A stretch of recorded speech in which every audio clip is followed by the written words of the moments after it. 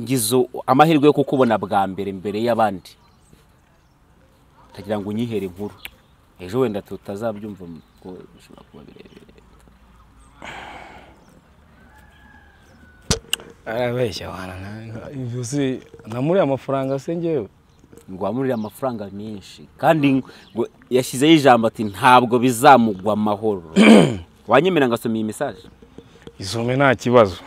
Reka nsome iyi mesaje Um, yaratangira avuga ati ngo hello vitali. How are you brother impemburo? Nkunda kugukurikira mu biganiro mm, byawe byinshi. Mfite ikibazo kandi gikomeye. Mperutse guha aposo reka ne kumuvuga izina kundi turi kumwe mu kiganiro. Mperutse guha aposo aha runaka. Abantu benshi bashobora kuba banamuzi kuko icyo kirego cyagiye gikunda kumugaragaraho muri social media. Mperutse kumuhereza igihumbi na magana atanu cy'idolari yo kunzamukira umusozi kuva icyo gihe yahise ambroka. Ntitwongeye kuvugana uzamumbwirire igihana natihana azarimbuka. Igihumbi na magana atanu cy'idolari? Eh, eh, eh, mana abantu baranarya wa? Kumva ari menshi. Mani miliyoni na magana atanu. Kumva ari menshi. Utayakoreye. Aje ku atari sare ayo mafaranga si menshi. Ntabwo ari ibintu bikaze yego wasanga ari uko uyafite menshi wenda ahari. Cyangwa se ari uko wenda uyabona uyakore uyafata mu ntoki wasanga ariyo mpamvu. Ariko ngewe nzi ko ari amafaranga menshi. Igihumbi na magana atanu cy'idolari ntabwo wayata se. Ntabwo wayata. Wayata se waba uyatwaye mu ntoki? Ayo mafaranga wayatwara mu ntoki. Oya, ayo yose nayata. Kubona njyewe n'uriya mu bebi urabizi ko ngenda umu DJ pare y'ibindi byose sibyo? Hano njyewe cyangwa se ariko ibintu byose ubundi bivuga ukuntu byagenze. N'ubu nta kintu mishira n'ubundi byararangiye sibyo n'ejo n'ahantu ari nimba ari n'abantu akunda umyumvira ati over. Byararangiye byanjye nawe kabisa. Nimba ari n'ikindi kintu yari yiteze ntacyo. Byararangiye. Byararangiye. Byararangiye. Burundu kandi sefini hehe nahise nyishaka no guhura nabo abahanzi ibintu byose nyine mbisobanurira papa mama iki inshuti n'abavandimwe ndamubereka ku mafoto n'iki bakazajya bamuhamagara Hmm? kuri za video call? Cyane cyane bavugana akunda kuvugana na petit frere ibyo bintu ni ukuri koko? Abagore nibo barongora just kuko ibintu ari byo babyikorera barikwa bakora eh, activity zose. Muri iyo myiteguro mwari muri muri muri gukora. Wari ufitemo ntuza uruhare rwawe cyangwa just amafaranga yaturukaga ku mukobwa. Ubu nabikwereka hano muri message namwandikiye message igira iti rero d'abord reka mbanze mbikubwira impamvu ngiye namwanze iyo umuntu yarambeshye hmm? yarambeshye ngo abana na musaza we urumva nkabana na musaza we uyu wese kandi ngabana na musaza we. Kumbi yarambeshyaga. Hari muri canada afite umugabo afite n'umwana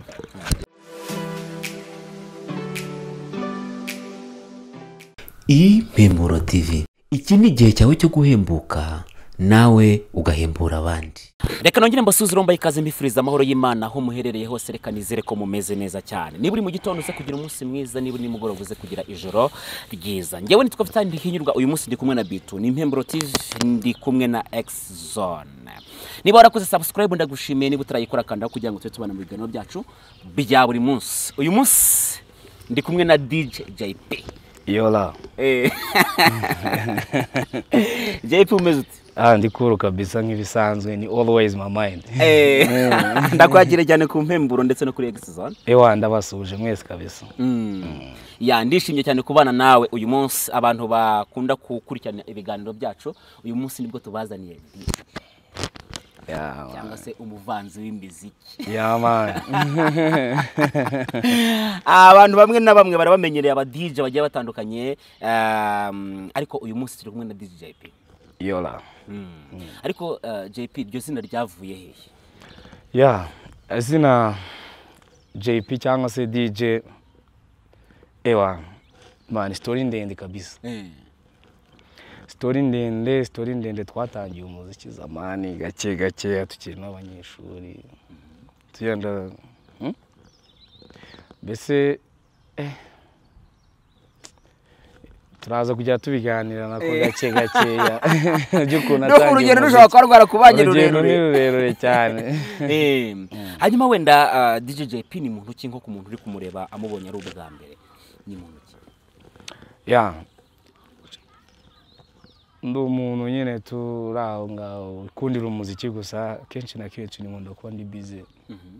nibereye mu muziki nta zindi diro mba ndimo Eh. za danje ko mbona wambaye impeta se ni ya mariage ufite umugore? Hmm? ufite umugore? Mfite igiki? Mani ndakubaza ngo mfite umugore ngo mfite igiki. Aho kumbwira ngo mfite nde ngo mfite igiki? Ufite umugore? Aha. Nimba ari byo byakuzinduye icara wige Eh, reka nanjye ngira aka- akaguru ku kandi niga Eh, icara wige uraza kugenda ubimenya gake gake. Eh, Mm. ufite umugore noneho sasa.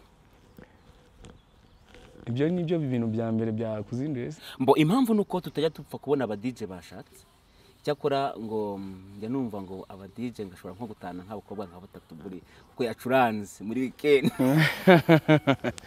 Ntabwo ari abo ba DJ ngiye mbarizwamo. Mm. ngenda umu DJ ukunda imana. Unanayubaha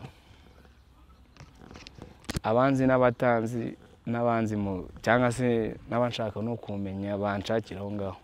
Ni irihe jambo ry'imana uzi ryanditse muri bibiri Mm? ijambo ry'imana uzi ryanditse muri bibiri ijambo ry'imana ryanditse muri bibiliya. Mm, ijambo ry'imana nzi yanditseho haranditse ngo ku bw'inda yawe yakunaniye. Gisomaho gakeya gusa. Ryanditse. Wowe ni ijambo ry'imana umbaje ryanditse muri bibiliya. Wowe ntabwo urizi ko ryanditsemo? ryanditse mu kihe gitabo? Eh? ryanditse mu kihe gitabo? Cya bibiliya. Mhm. ninde waryanditse Hmm? ninde waryanditse wowe umbaje igitabo cyanditsemo umbaza n'ijambo ryanditse muri bibiliya. Ariko JP utubwije ukuri. Uherutse kujya mu rusengero ryari? Niba atari ibanga ni ryari uretse kujya gusenga? Umunsi mperuka kujya gusenga. Ubundi urusengero se niba mu mutima hmm? urusengero rw'uwiteka niba mu mutima hariya siko muri biranditse bivuze ngo ugendana urusengero kandi urusengero rw'uwiteka ni umubiri wacu ni umutima hagati aho. Kimwe muri byo. Ndabigendana rero n'ubu mvuyeyo. Urusengero ngo ni iki? N'ubu ngubu mvuyeyo. ariko noneho. Mm, urusengero ni umutima wawe. Aha. Yanyu ni insengero z'uwiteka. Aha voila Hmm. ako kare kagucitse. Aho kare ka ahubwo mu- imibiri yanyu ni insengero z'uwiteka. Eh? Mm. urusengero rero umutima wanjye uwuhoramo sibyo? Kandi umubiri ndawugendana hari icyo utumva se Mm. nigeza kukubaza ikibazo nkubaza ngo ese ufite fiyanse ufite umugore ndabona wambaye impeta ariko wambaye neza. Thank you.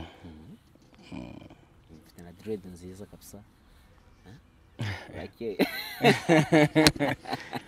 Eh, gake gake bigenda biza porampora. Eh. uwiteka bari kugenda binyuzamo neza.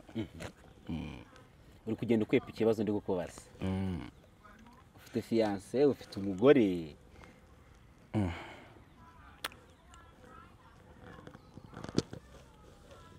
Ikibazo rero kumva twagisimbuka bukambaza ikindi nkaza kubisubiriza hamwe n'ibindi uri buze kumbaza. Kubera ko hari igihe ushobora kongera kukimbaza bigatuma ndambirwa ahubwo waza kukimbaza. None Mbaza si ibibazo ndagusubiza mubaza rero. urabizi. Ndabona wambaye impeta ku ga- ku gahera. Mhm, kandi bavuga ngo iyo umuntu yambaye impeta ku gahera ngo bibavuze ko ari umupfagabo. Mhm. arapfakaye. Shave wintera agahinda mwana. Uriya ntabwo uzi buriya ntabwo uzi nimba mfiteho umutima wanjye none se warapfakaye wara- warapfakaye uri umupfagabo niko bavuga niko bavuga Eh, urahasanga ari byo simbizi. None se uri gushaka undi mugore? Nk'iyo umuntu yiyambaye hano bavuze ngo ngende umupfagabo ariko ndamutse mbonye undi mugore namushaka. Iyi ndamutse mbonye undi namushaka kubera ko ino minsi maze iminsi nugarijwe n'ibibazo byagiye bimbaho. yarapfuye yaragiye. Meze nk'aho byose birasa. Byose birasa. Aha hanyuma rero reka mbahe ikaze mwe mudukurikiye muri iki kiganiro turi kuganira na DJP niyo tugiye kubana ariko umu DJ wemera. Mukora akazi kamwe. Ni inde hano mu Rwanda. Mu rwanda. Mu rwanda uwo nzi ni ngewe Eh, nta wundi nzi. Bivuze ngo nawe ni mu DJ uri mu Rwanda uretse wowe. Nta wundi wose ari wabonye.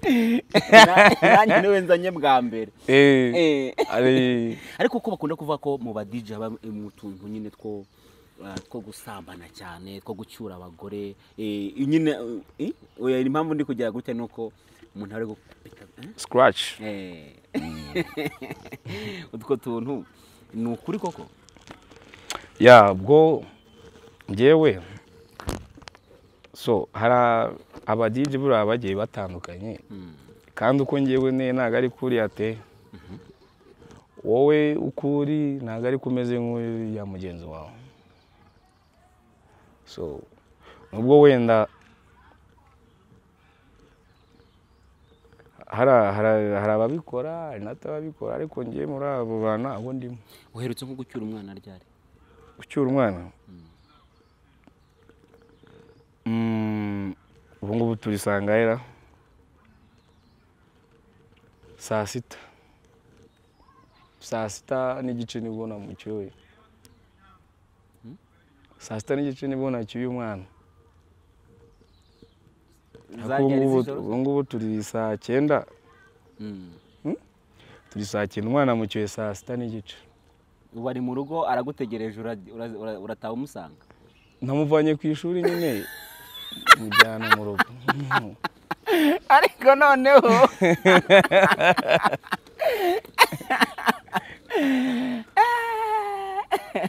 aha ntacyo reka nemere ko wamukiye saa sita n'igice. Em, nose si umwana wambazaga? Eh, nakubazaga umwana. Nyine namu- babandi muhurira namuvanye ku ishuri mujyana mu rugo mu bitanze mbari. hano mu kiganiro. Eh, uherutse nko ku nko kuryamana n'umukobwa ryari?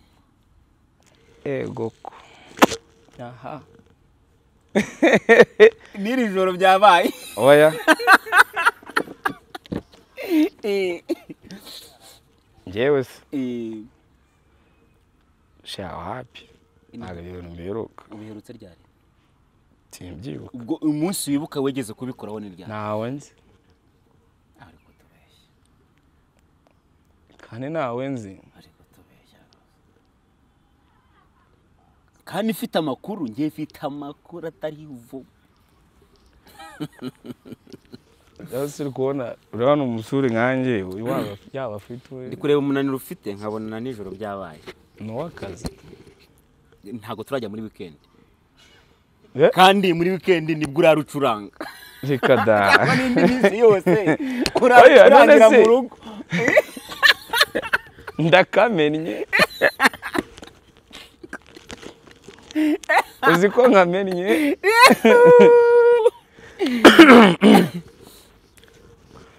oya? Eh, ibyo byo wapi ntabwo ibyo bintu mbibarizwamo gusa kubera ko nari- naritwararitse ari daboro nari mfite bije nyinshi cyane zitatuma njya muri ibyo bintu gusa ndi kubitekereza muri ino minsi kuba hari igikorwa nakora something. Mm. ese djp uh, kuba umudije cyangwa se gukora mu kabari bisobanuye uburara? Oya? None se ubu ko ngewe ndi umudije ndi ikiraro. Oya ntabwo ari we mvuze njye ndakubajije gusa ntabwo ari we mvuze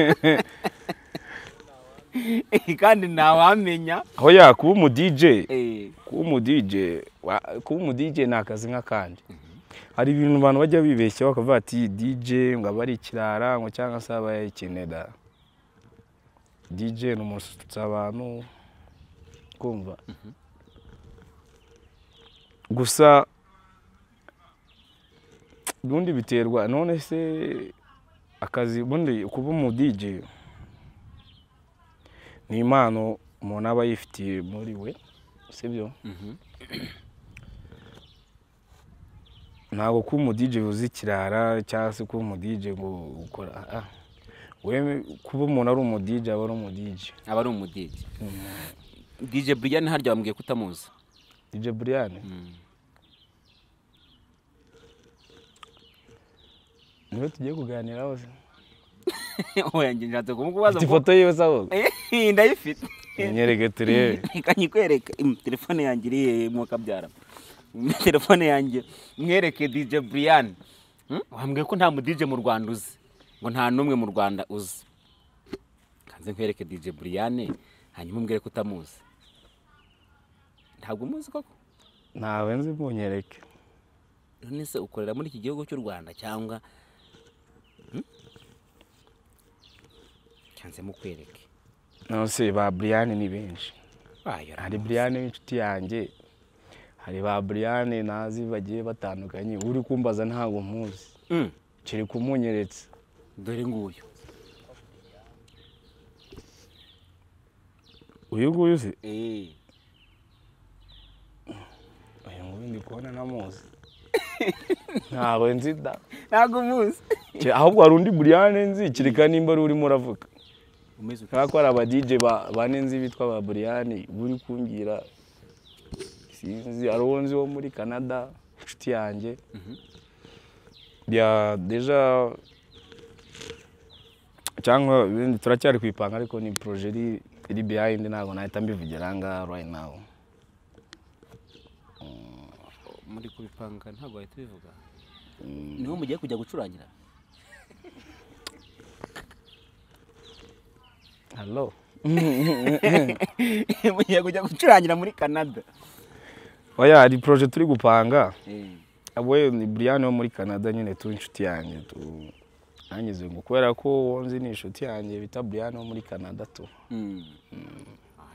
njye nanivugiye Uwo uyu tuziranye. Hanyuma umu baby se baby. Ah, oya uyu w'umukobwa ntabwo ari umubebe Mm. nimba ari uwo nguwo ndamuzi. Ndamuzi. Niki Ni kintu inshuti yanjye byatari ariko inkumi yanjye gusa ariko ba Brian ni benshi ujya ushyira akitso bati uyu Ah, niki kintu kigutera ubwoba mu buzima bwawe? Ikintu kinera ubwoba? Ni umuntu umbeshya umuntu ukubeshya? Yeah. niyo waba uri kugenda mu nzira ukabona abantu baje kugufata cyangwa se ukumva amakuru ah, bla ntabwo byagutera ubwoba keretse umuntu ukubeshya tu? Ya buriya umuntu waza kumfata si ubwo yaba ari kumbaza iki? Hmm? umuntu waza kumfata yaba ari kumbaza iki? Nyine ngo uhaye urugero? Uramutse uvuze ngo hari ahantu abantu baje kukureba. Mm. ntabwo byagutera ubwoba keretse just umuntu ukubeshya tu.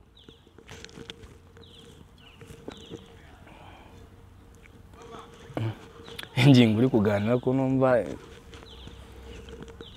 iryoshye cyane ni umuntu uje kumfata gusa ubwo yaje kumfata mbaza iki nyine urambwiye ngo ikintu kigutera ubwoba mu buzima ni umuntu ukubeshya. Nta kindi kintu na kimwe kigutera ubwoba. Ibintu byantera ubwoba ni byinshi.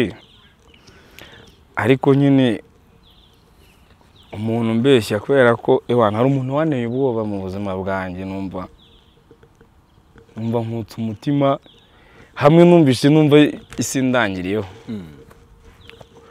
Umuntu yarambeshye birambabaza kugeza n'uno munsi n'uno munota arazinutswe. Arazinutswe ku buryo umuntu kabisa kwitwa ngo arambeshye. Akoze nk'ikindi kintu kibi kuri njye. Pole sana kabisa.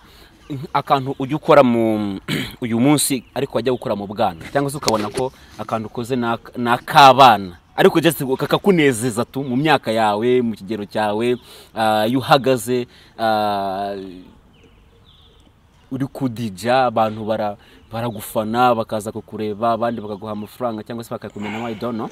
Ariko ukaba ari akantu k'ubwana ukora. Ni akahe? Ah, muri za muri za bibiri na muri za bibiri na ka- na kane. Bibiri na kane.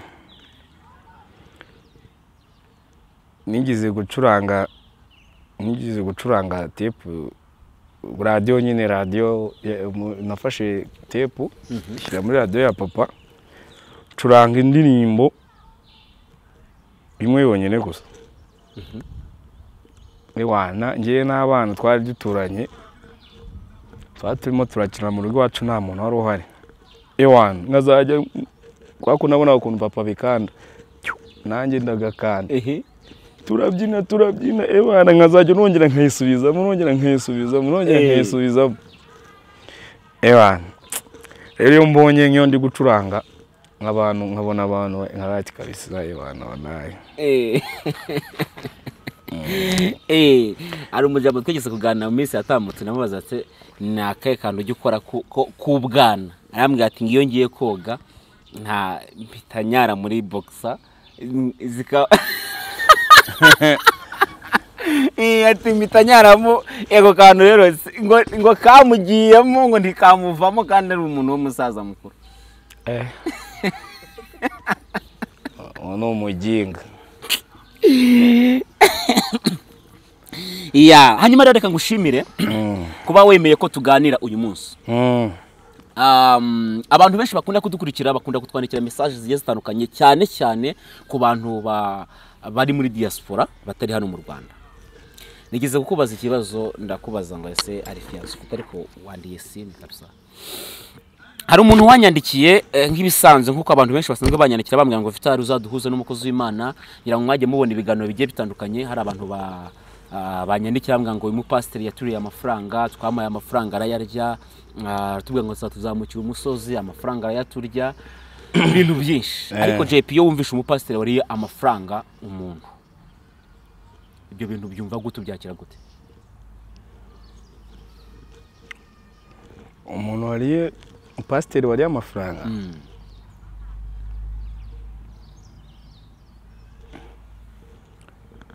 Nose ubwo aba yariye gute? Ukashoka wanyizera ko ndi pasiteri hanyuma ukambwira ngo ushaka unsengera nkakubwira ati ngo ohereza nk'amadolari magana atanu cyangwa se nk'ibihumbi bibiri by'idolari hanyuma nkuzamukire umusozi ayo nayatike hanyuma ngahita nkuburoka sinongera kukuvugisha.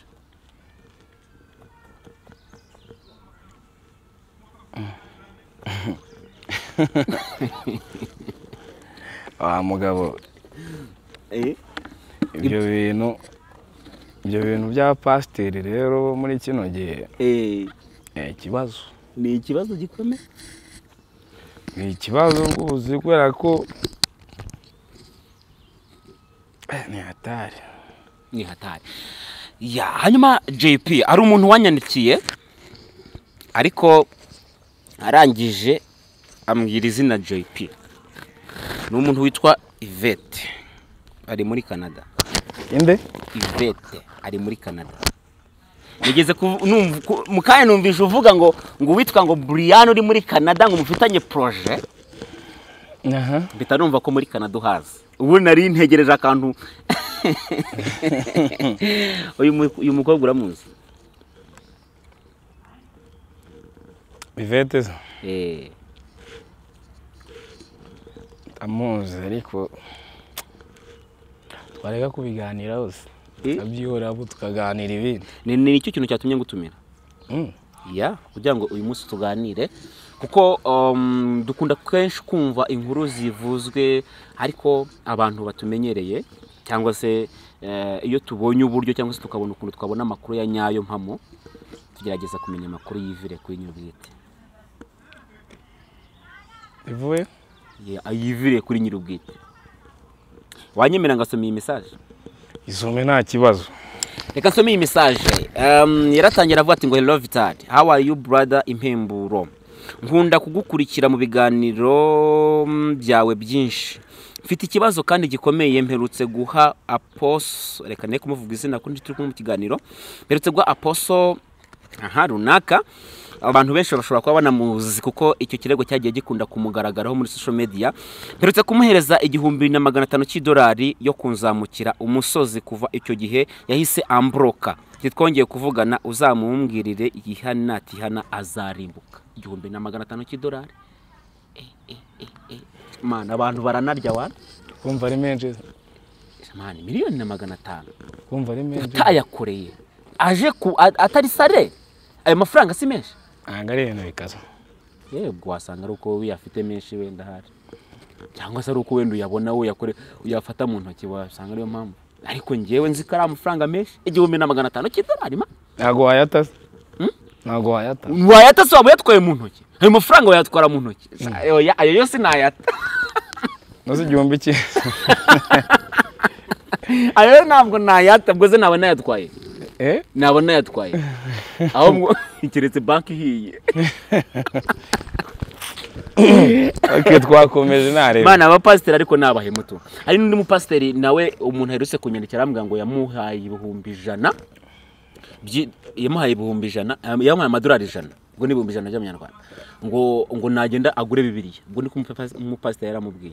Ngo nyohereza ayo mafaranga ngure bibiliya nzishyire abantu hanyuma imana yaguha umugisha ndagusengera kuva icyo gihe nawe ahita aramuburo abapasiteri babaye bate Jeff rero reka nkubwire. Ugira bibiliya? Eh? ugira bibiliya? Bibiliya? Ndayigira. Okay Kuta- utayitwaje se ndayifite hano muri telefone mbwira nyigusumire ngira ngo usomere umurongo ushaka ngiye nkugusomere wose. Ndagira ngo umbwire ijambo rigufasha muri bibiliya. Hmm? ijambo rigufasha. Ijambo rimfasha. Eh, rimwe. Rimwe rigufasha unambwire n'ahantu ryanditse. Kandi wareka nkakubwira abiri se Eh, nta kibazo. Hmm?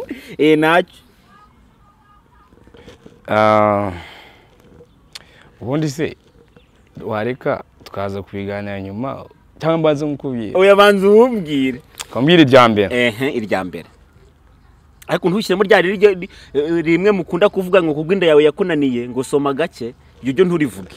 Ntabwo ari umurongo wo muri bibiliya se kuko niryo ribafasha Eh? Eh, ntacyo. Ntabwo ari umurongo wo muri bibiliya. ndarivuze utarivuga ntuba ukirivuze mbwira irindi.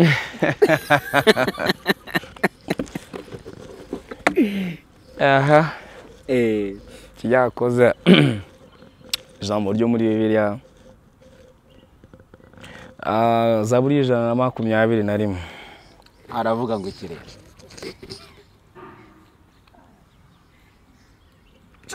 Ngiye guhita njya kuyishaka ndahita njya kuyishaka ndebe ukuntu ivuga.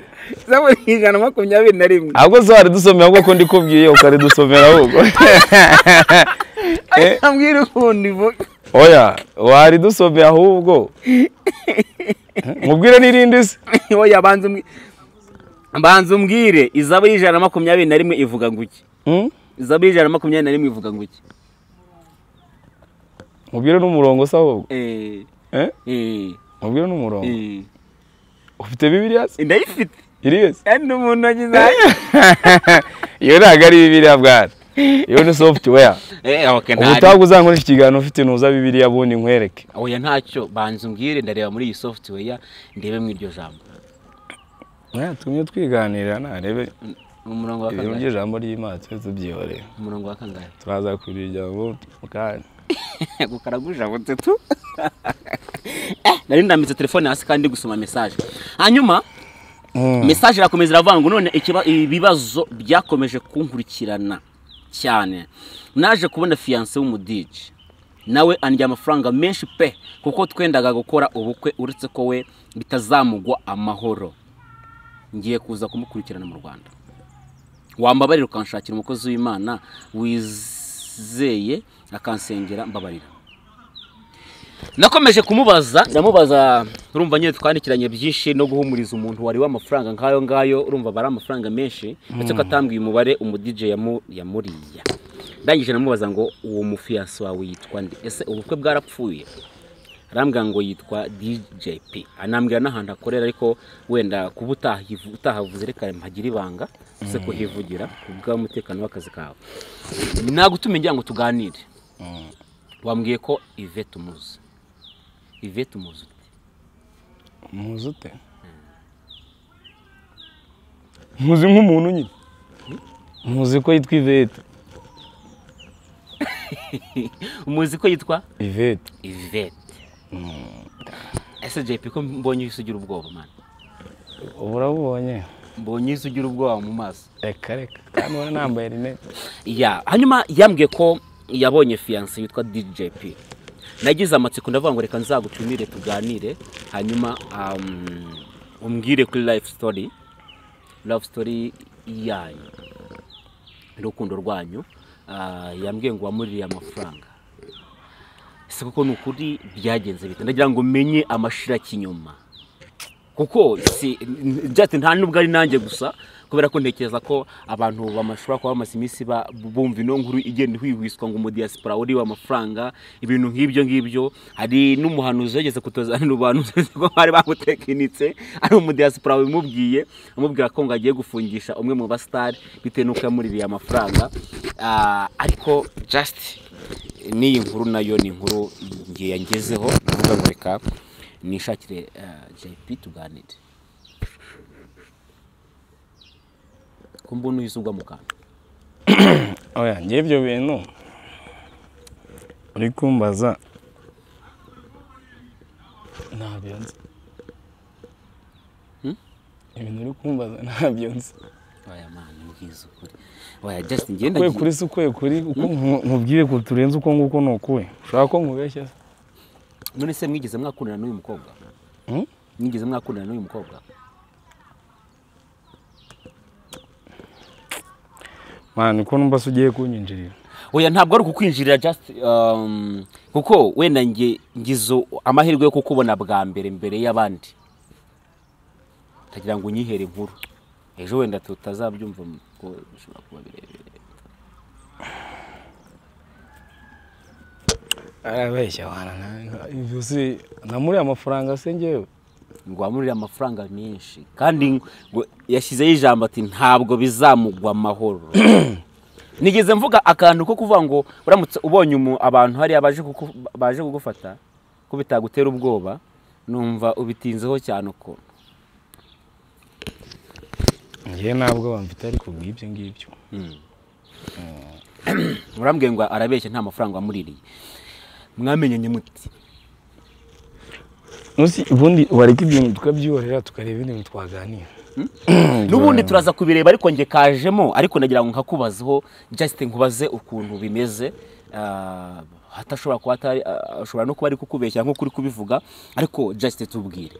Mwamenyanye gute na Yvette njyewe uri kubona ibintu nanze kubishyira hanze nanze kubigaragaza. Ukuntu byose bimeze. Sibyo? Uriya mukobwa ni umuhemu ni umugome ni umutindi. Ukumva?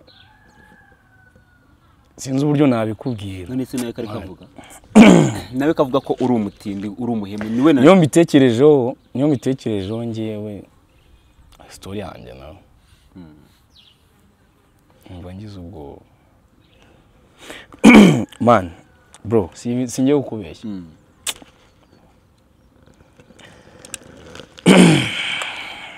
Oya, mbwira. Kuko avuga ko wamuririye amafaranga menshi. Ndetse mwari munafite n'igikwi ha- hafi aha ngaha. Twatangiye turi guseka turi kuburaga ariko ibintu bibaye.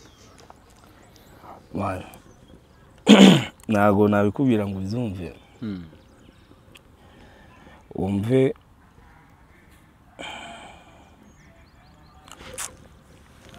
byiza nuko twabyora mani none se byagenze gute? Jp tubwire. Kuko mbonye wenda mbivuze mbona just uhise ugira agahinda. Tubwire byagenze gute? Kubona njyewe n'uriya mubebi urabizi ko ngenda umu DJ pare y'ibindi byose sibyo hano njyewe cyangwa se ariko ibintu byose ubundi bivuga ukuntu byagenze. N'ubu nta kintu mishira n'ubundi byararangiye sibyo n'ejo n'ahantu ari niba ari n'ahantu akunda umyumvira ati over. Byararangiye byanjye nawe kabisa. Nimba ari n'ikindi kintu yari yiteze ntacyo. Byararangiye byararangiye. Byararangiye. Burundu kandi sefini hehe na yo sinyishaka no guhura nawe.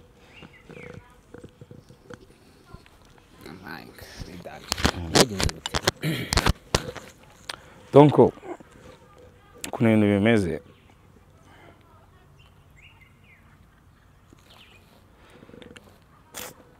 n'isitori n'uriya bebe yanjye na imana tuyihorere kwa nta kintu nose byatuma ngewe byatuma nkumya kurakara. Mm? kwa kuriya ngo bebe yarampemukiye bimwe byatari imana. Uzi umuntu wizera yarambeshye bimwe byatari mu buzima bwanjye ntabwo umuntu umbeshye. None se kavuga ko wamurira amafaranga. Ayahe se Hmm? ayahe kandi ufite screenshot mani zawe uri limit. Izo za screenshot se screenshot izo na niba editinga se Eh? niba editinga ku buryo wakeditinga iriya mesaje ibyo gusa se? Mbo ntacyo twibuka. Ubundi gareka ngiye mbaye true story. Yeah. sibyo bantu mudukurikiye cyangwa se n'abandi bose n'aba abadiaspora bagenzi biwe yaba se n'abandi bantu bose. Ngiye mureke ibintu byose mbivugisha ukuri n'ubundi nta kintu misha ibyanyu nawe byararangiye. Ariko ntabwo birarangira. Hoya byararangiye. Ntabwo birarangira kuko avuga ko stili agiye kuza ku- kwibonanira nawe gukurikirana. Hari aho ngeze sindi hano? Eh? sindi hano? Nageza kuvuga kuri kariya kantu umuntu yisugira ubwoba. Bw'iki se ntacyo- ninye umwana w'umuntu. ntacyo twibwirire tu njye nawe ninye umwana w'umuntu. Ya- byagenze gute?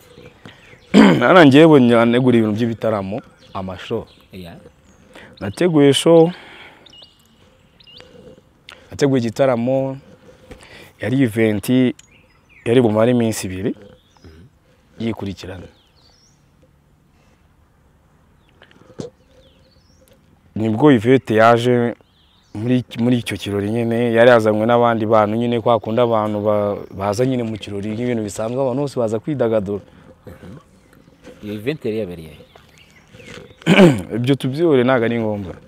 Ntabwo nakongera kuwamamaza kubera ko ntabwo ngiye kubamamariza ahantu twari twakora icyo kirori. Kandi nta- ni byo biremewe ku- kuvuga ahantu si ibirori biba byabereye.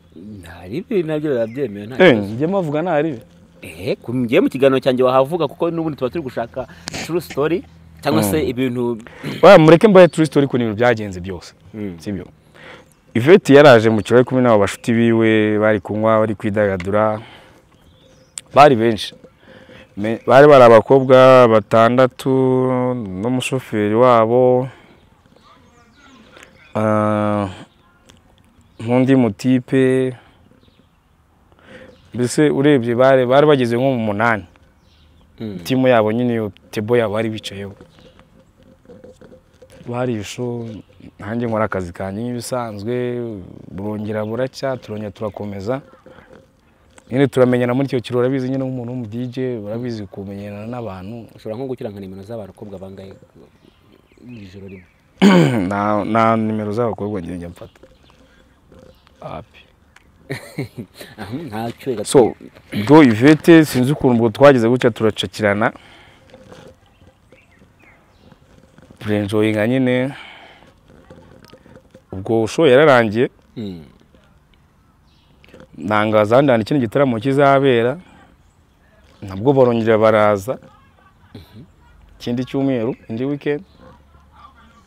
So nyine nk'abantu bari baje muri event yanjye urabona ko kumenyana n'abantu bituma baza mu birori byawe ni byiza. Mm. anyaka contact zanjye ndazimuhereza. Nawe mwakize? Oya njye nta nimero yanjye nigize ntabwo nigize mwaka nimero yiwe namuhaye iyanjye birarangira. Show irangiye bigeze nka saa munani gutyo aranyandikira arambwira ati bite ni byiza. Amakuru ni meza ati se nyuma dufite akazi na mati wapi? Nta kazi mfite. Mhm. ati nanjye rero ngo ndi muri hoteli ahantu nangaha tu ariko nimugoroba ahantu turi buze gutemberera. Arambwira se niba udafite akazi waza kuza tukaza gusohokana. Niyo timu yabo nyine barambwira ngo ahantu uri buze kujya muri hoteli nyine kongera ngo nyine bari buze gutemberera baba ati narebe usanga zarageze? Mba ndagiye nyine. Umuntu batumira azi nk'umuntu w'umudiji kumenyana n'abantu bazajya baza mu event yawe uba ubakeneye Hmm? ukeneye abamembazi nyine bari aho ngaho ese bi- hashize igihe n'iki wenda iyo event wari wateguye ibaye muhuye n'uwo mukobwa? Hashize four months. Kumva ari amezi atanu ugomba agiye kugera. Ni ya ma event ya ya ya yo muri cogamu cyangwa ni yarewe muri sama. Eh okay. Mm. ubwo twagiye. Ubwo nenge kuvuga ngo ni mu gisimenti ariko ntabwo ngibivuze. Haba ariho cyangwa n'ahandi ntabwo ariho nta handi hantu twari twagiye muri hoteli tu. Mm. Aha. Hanyuma eh, barakubwira ati ngo dusohokane. Twarasohokanye. Turye show. Bya sho turavayibinga turabyina yewana nanjye nyine nk'umuntu. Twatuma turinywera za red rebel none ndimo ndinywera. N'abari kwinywera nuza za NC nuko tura yewana twarinjoyinze bigeze numva ndananiwe Mm. ndataha. Nabo barataha. Ah, bukeye bwaho numvaga nyine nameze neza nirwa ndyamye aramvugisha nyine nka saa kumi n'ebyiri ati se bimeze bite? Namati byari ziracyandimo arayamaye se nkuzanira agakiri uko umushaka nka kikakumara ngova. Mm. ndamuha nka juice anzanira juice.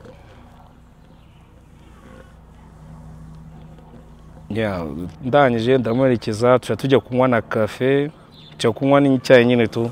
Ah, wenda ngusubije inyuma gatoya muri muri mu- mu- muri muri icyo kirori muri iyo show wabonaga yitwara gute kuri wowe? Wabonaga bimeze gute? Ya yitwaraga nyine nk'umuntu wankunze tu. Yakitingaga nyine nk'umuntu wankunze. Ya. nanjye ubwo nta kintu byari bintwaye. Ntabwo nari nabigize nyine ibintu bya danje. Njye nta kintu byari bintwaye ko nyine umubebe nyine bitewe n'ukuntu namubonaga nabonaga nyitayeho buri kimwe cyose nta kibazo nari mfite. Na fagitire zose twakoze njye nta kintu kimwe nigeze nishyura. Niwe wabyishyuye. Gutyo byagenze. Noneho turi kunywa ariko bajya bavuga ngo abadesipora bagira amafaranga. Ntabyo nzi ese ni bwo niba warakonsomye ntiwishyure. Wowe ntabwo wakonsoma nkakwishyurira Eh? icyo ni ikibazo. Kuba iyo wakonsoma njye nkakwishyura tujye tuba abasirimu. Kuba we wakonsoma twaba turi kunywa kabyeri nkishyura fagitire yose hari ikibazo cyaba kirimo. Icyo kigaragaza umuntu ufite amafaranga se? Eh, na byo birimo. Utayafite wakonsoma bakakwishyurira ntabwo ari uko nari mbuze amafaranga ariko. Wowe nuko yavuze ati mureke ino biro unyishyure na yo. Mm. twese abari bari aho yarabishyuriye bose.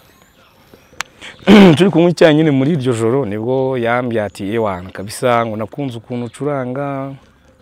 Ya ewana ibintu byawe ukora narabikunze. Eh, ndamubwira ati byiza ntarebe cyane. Mm. Uwo mugoroba nyine twamaranye nk'amasaha makeya turi kuganira mbaza amakuru nanjye mubaza nyine tujya tuganira ambwira yuko aba Canada.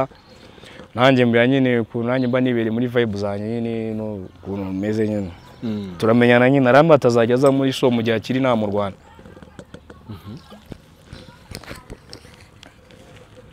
so twagiye tuganira akazajya mbaza ngo naratashye agumya mbaza se wageze mu rugo? Ati wawu byiza ngongera uryame wifubike. Nyine ibintu nk'ibyo ngibyo nyine amakeya nyine. Mm. ok ntaribi. Arakeye nikomeza nyine muri za gahunda zanjye nabwo akambaza nyine amakuru akampamagara I'm fine gutyo ibintu nyine nk'ibyo ngibyo nyine. Mm. Yeah. biza kugira aho nyine arambwira ati ko numva njye naragukunze wareka tugakundana ibintu nk'ibyo nyine. Bati ntaribi dore ko nta mushinga nanjye nari mfite. Nari aho ngaho nyine. Kubera ko ntabwo njya nkunda kujya mu bintu by'abakobwa cyane. Nabigiyemo rimwe ariko ingaruka navanyemo narayibonye. Wavanyemo sida. Oya. Wavanyemo umwana. Oya. Navanyemo ibibazo bikomeye cyane nk'ibyo ngibyo bya ivete nyine. None wambwiye ujyana ku ishuri? Barumuna banjye. maze mvuka njyenyine mfite petit frere aha. Ntacyo ubwo ntekereza umwana ujyana ku ishuri ntekereza ko utadapfa no kumusiga yaba afite na mama we mu rugo. Kuko ujyana ku ishuri aba ataragira ikintu amenya kwikorera. Eh? Ubwo afite mama we mu rugo. Aha ntacyo twagiye. Ni murumuna wanjye ariko. Eh, sawa nimba ari ikindi urutegereje kumva ntacyo. Ya. Eh, yanjye nyine nabanyemo na Yvette man bino bintu bya Yvette man iyo mbigezeho iyo umuntu abimbaje numva mbabaye byataye. Ndarakara n'ijwi rikabura byataye. Sinzi kubera ko numva baby man yaramemukiye none se nawe akavuga ko wamuhemukiye no reka ntihutishe ibintu umukobwa wanjye twarakundanye nshaka gukundana bigera igihe aragenda. Asubira Canada. tukaba duteretana gutyo biza kugeraho dupanga gahunda rero yo kugira gute yo kubana. Um, wari ugize wikundira ngo mugeze kugira yo kubana. Ariko aho ngaho nakubaza akabazo ka- k'amatsiko yaravuye hano mu rwanda asubira muri canada. Mwahise mupanga kubana. Oya. Cyangwa yagarutse just nyine ndibaza ubukwe mwabupangiye kuri whatsapp nk'uko nsanzwe mbona bigenda ugasanga ubukwe bunabereye listen kuri narimo whatsapp. ndakubwira reka nguhe true story. Eh, ya kuko nzi ko abadiaspora reka tunamaze n'iminsi twumva inkuru mu masosho media z'abadiaspora z'abantu bavuye hano mu rwanda bakajya muri diaspora bagahita batandukana n'abagore babo. Just ibintu nk'ibyo already njyewe ari hanze twamaze nk'amezi nk'abiri tuvugana ibintu byose online video call chat. Mbese ari ibyo ngibyo Hmm.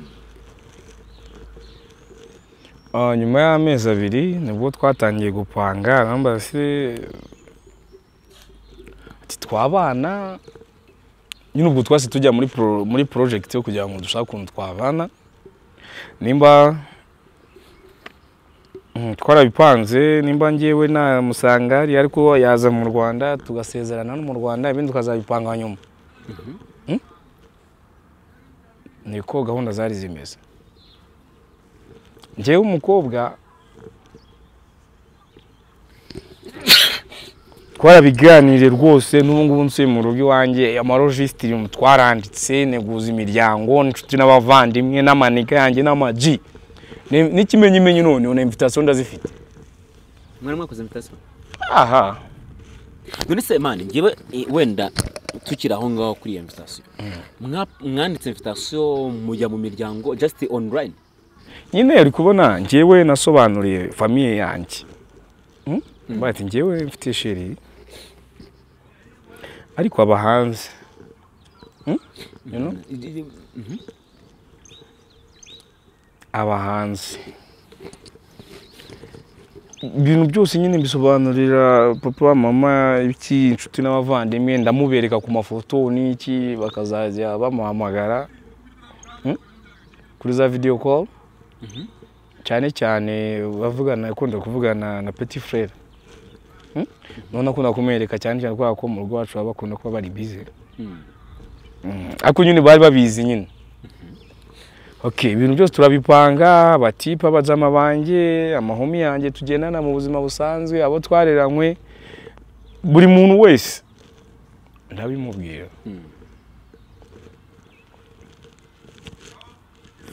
Turapanga ibintu byose turandika.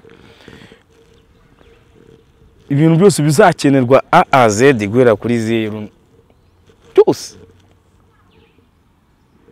Turabipanga tubyandika bakabyandika ba sisiteri bande bose bahewe bose.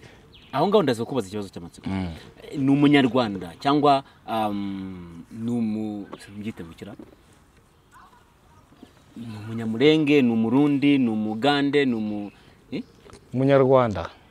Nyine ndavuga ivete ni umunyarwanda. Umunyarwanda pire none se imiryango yari yarahuye? Imiryango ntabwo yari yarahuye. Kumva imiryango ntabwo yari yarahuye none se mwapanze ubukwe gute imiryango itarahura itaziranye? Uri kubona ibintu byo muri kino gihe nkumva iyo abantu bashimanye. Mm. iyo abantu bashimanye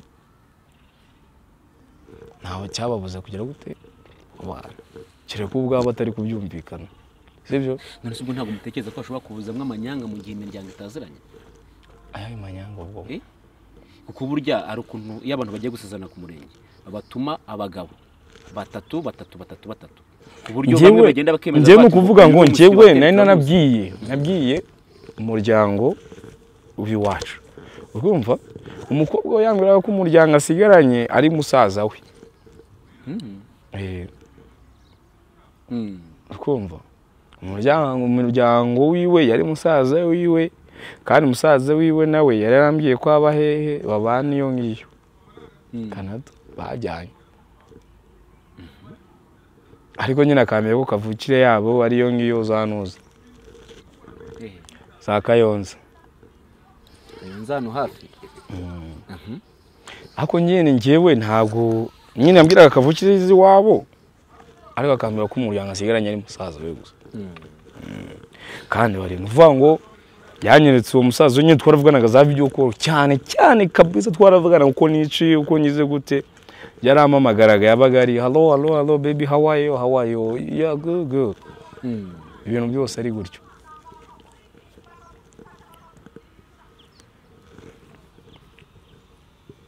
Ibintu byose turabipanga. Invitation zirasohoka. Ese ibintu bajya bavuga ko abadiaspora ari bo bakora ubukwe? Donc barongora aba abasore bamwe na bamwe mu Rwanda cyangwa se b'abanyafurika Eh, ibyo bintu ni ukuri koko? Abagore nibo barongora kuko ibintu ari byo babyikora barikwa bakora eh, activity zose. Muri iyo myiteguro mwari muri muri, gukora. Wari ufitemo ntuza uruhare rwawe cyangwa just amafaranga yaturukaga ku mukobwa? Iwacu turifashije wabo hose nari kumukwi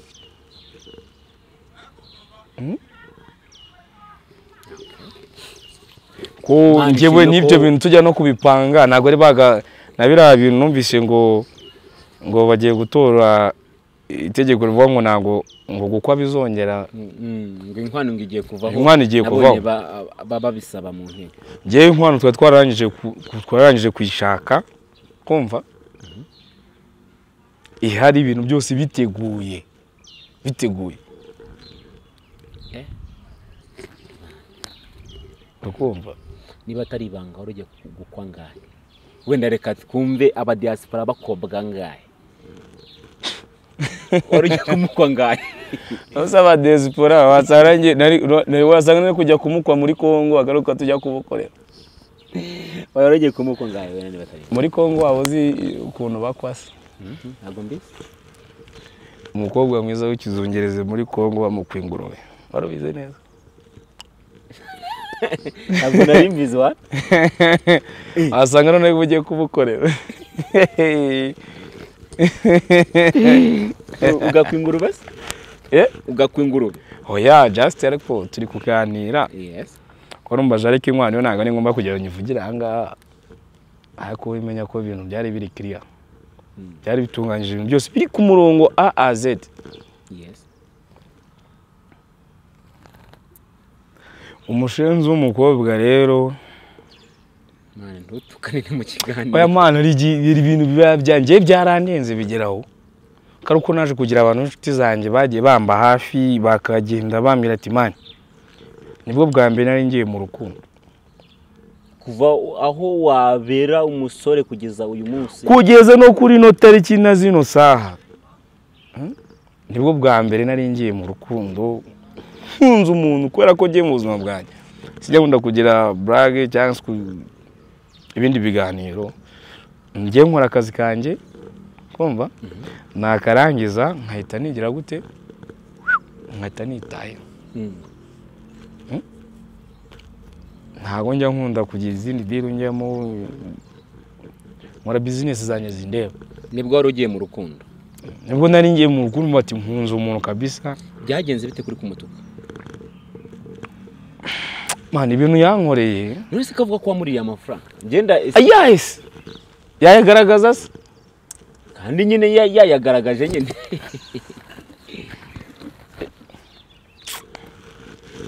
Ngo yayagaragaza. Yayakweretse se. Njye ni niyo mpamvu nagize ngo nganire. Nyine yayakweretse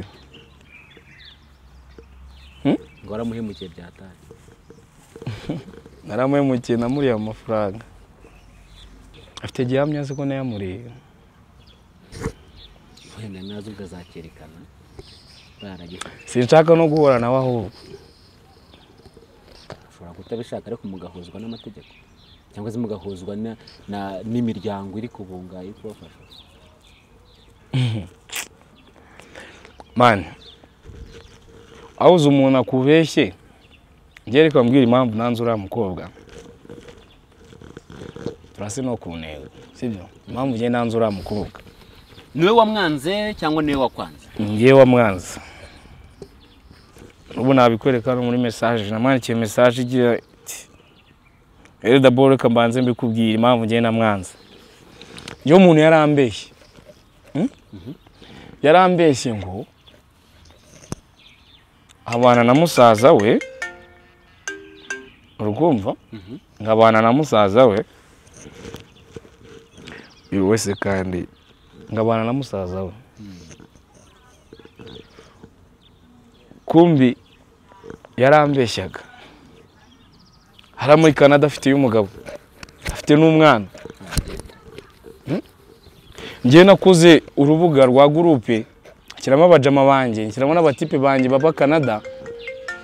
Urukumva umutipe ab- nshyiramo abantu bose nyine muri gurupe mbereka sheri wanjye. iyo gurupe yari iki? Hmm? yari iki? Yari ubukwe. Njyewe umuntu yarambeshye can you imagine?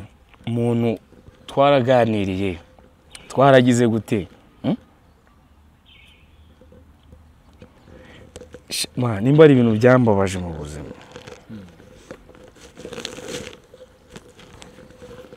Yarambeshye kugeza na n'ubu ngubu narabimubajije aramakanira. Akubwira ko nta mwana afite? Yabanje kumakanira. Njyewe umuntu yarambeshye ngo nta mwana araki ngo aracyari umukobwa ngo afite musaza wiwe kandi abana n'umugabo he iriya canada.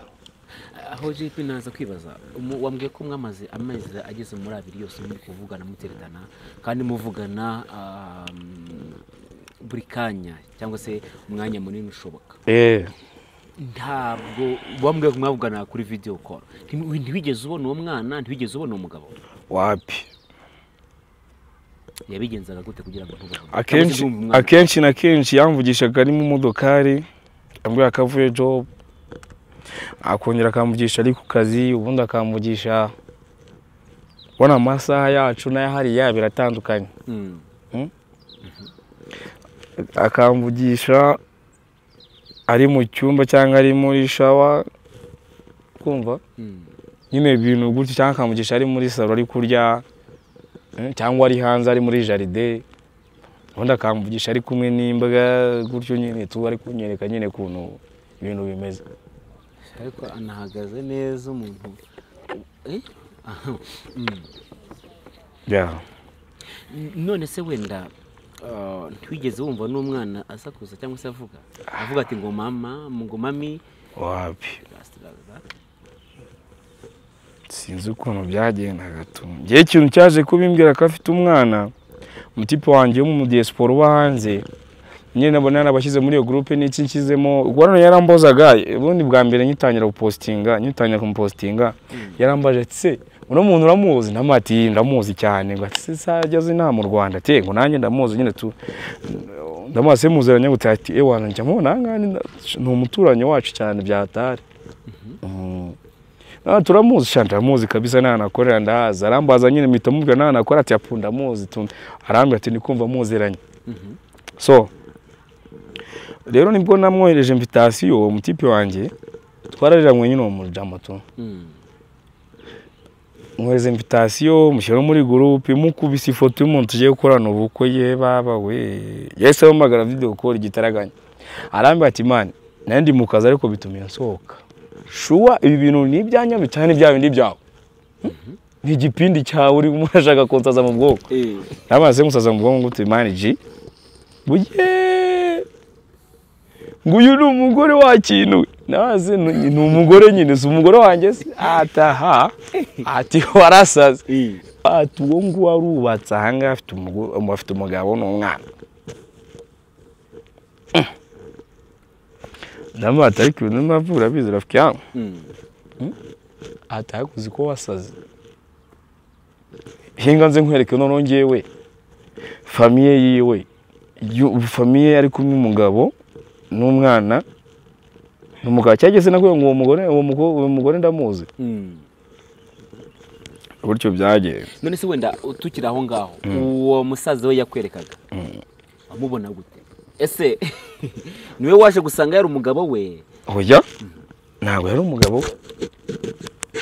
Ntabwo yari umugabo we rwose. None se na musaza we nawe yarafatikanije nawe kukubeshya ya. Bose bari bafatanyije. Sinzi nimba ari na musaza we sinzi nimba ari n'iki kiwe sumbaza. Uwo muntu baturanye w'inshuti yawe yakubwiye ko ari itike njyewe yampaye information zose. Ukumva? Uwo mutipe wam- wambwiraga ibyo bintu byose ni nka garamfere wanjye cyangwa se ni nk'umuvandimwe wanjye tuvukana. Mm.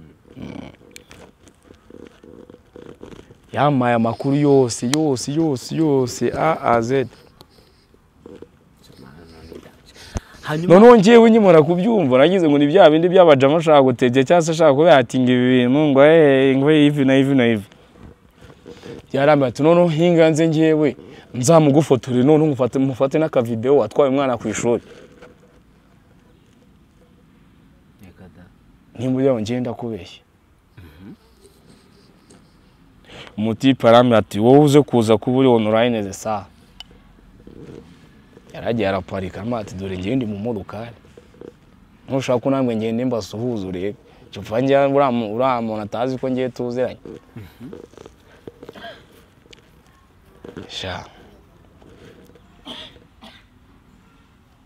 tipe yaragiye arankorera ibyo bintu byose ibimenyetso byose arabinyereka byose anyereka n'ahantu bajya guhahira byose buri kimwe cyose. Ewana aranambwira ati noneho nimba ugenda uranakubeshya mbwira ati ngewe ino isaha n'iyi ngiyi nzagende nsuze kariya kana nkabaze mama wiwe ngo ari hehe tujya dusangira nk'imiryango hari ibirori bijya biba tukajya gusangira turaziranye. Mm.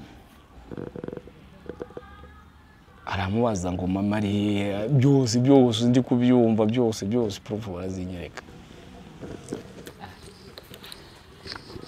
nsanga ivete shano ni umunuzi ni umugore mane ko ari danje none eh, ubukwe bwa Narihebye. ntabwo yagize inyereka Oya, nzayikwereka nzayikwereka uh, sinzi wenda ninongera kubona umwanya. Nzagufoto nzayifotora nyikoherereze cyangwa se uzambwire njyewe uzansange mu rugo nyikwereke. Nkwereke n'ibintu byose bigaragaza ko ngewe inzandi ibintu byose twanditse ibintu byose tuzahaha ibiki byose. Twari dufite umurenge muri kuno kwezi kwa cumi n'abiri. Nyine ubwo urumva umuntu abyumvise gutya akumva ko just mwari muri muri fiançailles muri gukundana ibintu urukundo reka, rugeze kure? Mane mwari mufite n'umurenge muri uku kwezi kwa cumi n'abiri. Twaba dufite umurenge. Wanjye nawe. Ngewe ibintu byambayeho mbese ibyo bintu byose. Namaze namaze nka na- icyumweru kimwe nakimaze ndi mu nzu nasohoka ndi kwibaza ndi gutekereza ukuntu nijeje famiye nijeje abantu bose inshuti zanjye n'abavandimwe bamwe bakodesheje amakote bati tuzabakora umurenge tugire ibintu byose twari kubanza umurenge twari kubanza umurenge mwari no gukora mariage ariko oya ntabwo twari kwita tubikora cyane twari kubanza tugakora umurenge then akatongera agasura kubera ko aba ari mu kazi. Hmm. Yeah. ntabwo mwari guhita mujyana ngo wenda mariage muzayikore nyuma. Oya twari tugiye kubanza gukora umurenge ibintu byose twaba twashaka kugira tugende tubikora step by step. Hmm. kubera ko yambwiye ati ntabwo ibintu twari tubikora rimwe n'akazi nkora n'iki n'iki kandi uri kubona umuntu aba akeneye n'ukwezi kwa buki umuntu akoze mariage ibintu mbese urabizi nk'ari abantu bibera hanze ibintu byabo biba biri ku murongo. Hmm. hanyuma se amafaranga waje kuyamurya gute? Ayahe mafaranga ariko. Ko njye niyo umuntu avuze ibintu by'amafaranga njye nu- numirwa ahubwo? Amafaranga mafaranga. avuga nyine wamuriye wayamuriye gute ukuntu kugenda. abadiyesipora ni cyo kibazo bagira. Ni ukugenda basebya abantu ngo umuntu ngo yandiye amafaranga namuriye amafaranga se nayamuririye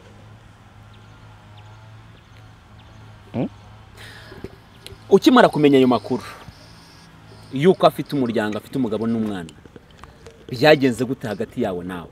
Wamwakiriye gute wamubwiye gute ah, kugira ngo hagati yawe nawe hazazemo agatotsi? Byagenze gute? Naramu- naramuhamagariye ndamubaza aha ndanwa amabebi biti ndeba ase ko ndeba igihe cyegereje uri cyari imyiteguro bimeze neza nta kibazo.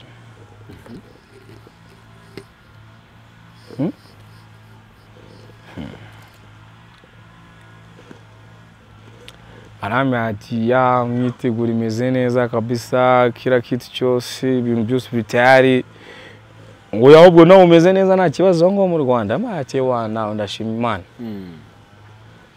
arambaza se ariko ntabwo yari azi ko bya bintu nabimenye ko mbizi. Ase bebe ko numva umeze nk'umuntu urwaye utameze neza ni kibazo wagize? Akubaza?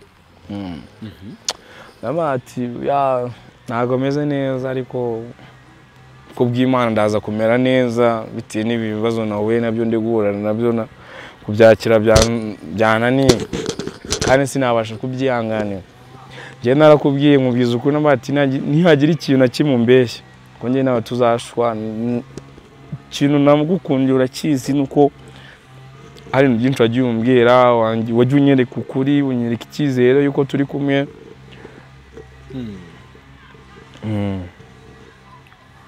Najya nyine kumusobanura muri dataye nyine mujyana gake gakeya kugira ngo numve ko yambwiza ukuri.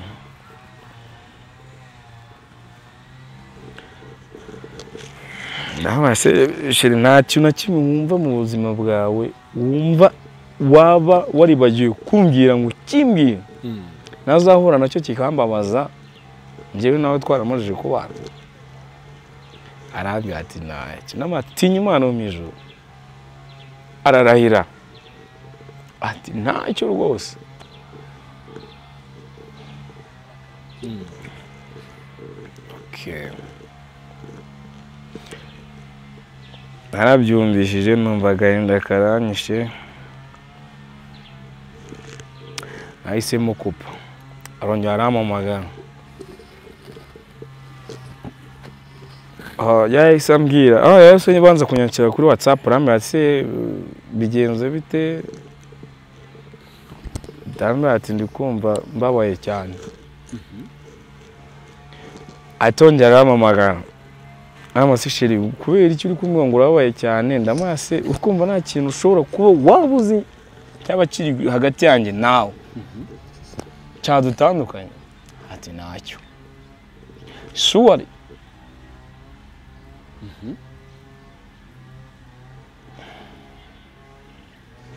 ati ntacyo rwose. Imbere y'imana. Ndamubwira ati noneho wowe fata akanya sibyo? Ngiye kuguhereza uyu munsi guhera uno munsi no kugeza Ah, kubera ko uwo munsi byari byari tuesday. Ati ngiye gukubita iminsi itarengeje itatu utekereze neza ikintu waba uzi waba warakoze uzi gishobora kumbabaza. Ukimbwire nyakire ni iki kintu cyatumaga utizera ko ibyo bintu koko ari ukuri? Bigatuma umuhereza iyo minsi yo kubitekerezaho cyangwa se yo kuzakugira ikintu akubwira kijyanye wumvise. iyo aza kumbwira ko wenda yabyaye sibyo Mm. ntari kubyemera. Sibyo? Mhm. kuko nanjye nari twari dukundana kugira ngo tubane ambyare. Mm? tugire n'abana ariko umushaka niyo umenya nyuma ko afite umwana nta kibazo byari kugutwara ntari kwihangana nta kibazo. Ese wigeze kumbwira urambwira ngo barakubwiye ngo yari afite afite umugabo n'umwana? Hanyuma urambwira ngo mwajyaga muvugana muri ari mu gitanda. Yajyaga mu gitanda cye n'umugabo akaba muke. Yakuvugishaga ate ari kumwe n'umugabo? Yamvugishaga aryamye mani none se aryamye gute? Umugabo kandi baryamanye? None se umugabo nawe yari ari muri iyo diri nuse nimba umugabo aga yaragiye mu kazi abo nimba bakora amashifuti se ariko se abantu bo hanze uko ubizi bakora ntabwo bameze nk'abanyarwanda ngo ngo umugore ngo arataha asange umugabo mu rugo nako umugabo arataha asange umugore mu rugo ngo bahite baryama nijoro. Eh? umugabo nimba abaga afite shifuti ya nijoro cyangwa yo ku manywa.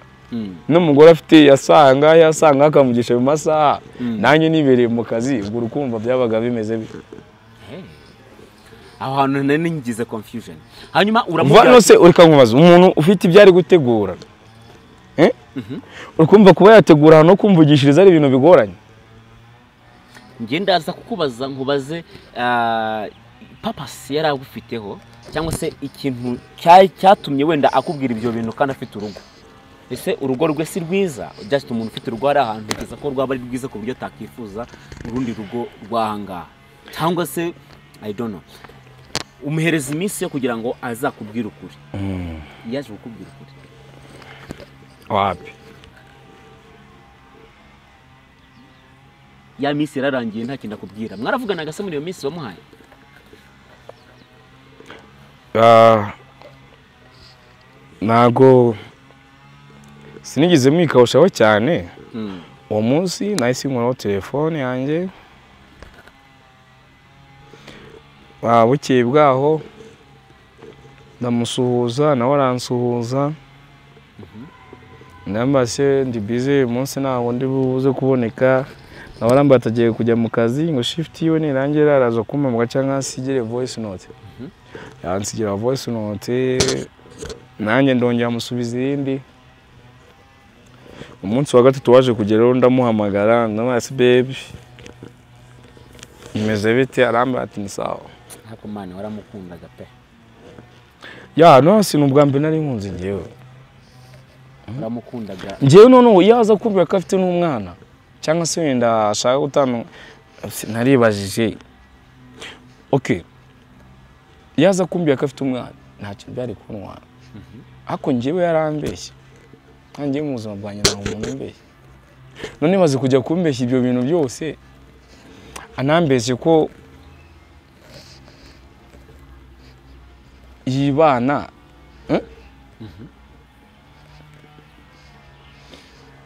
nyine aba ari kumwe na musaza we buri- bintu byose rimwe na rimwe njyaga mubaza se musaza wawe baba batagiye mu kazi. Nka nimugoroba akaza kumpamagara bari kumwe bari ahantu bari kurya nyine kumva. Ati wamubonye ngo ari kugusuhuza akankubita akavidewo nyine k'impozamarira ka makeya aho ngaho. Akavidewo k'amasegonda nk'angahe bari kumpepera gutya ngo arigira gutya ariko gupepera. Eh akavideo kamake Eh, ni akavido ka makeya nyine kamwe kadatwara na njye mani ifite amatsiko yo kumenya ah, ubimubwira. Sasa rero njyewe dore ukuntu byaje kugenda. Nara- narambati ok. Ngiye kukwereka ikintu. Hano nawe nje wasi bebe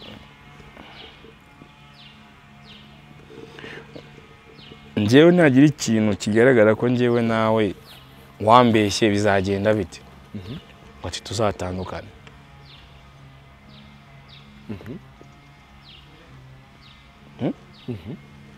ati siriyasi uri shuwa yuko ibyo bintu byaba ariko byaba bimeze ati yego.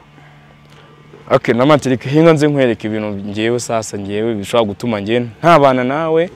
Bitanashoboka kandi neza neza bino bintu ano makuru ngewe nyahagazeho pa agafoto k'umwana uno muntu uramuzi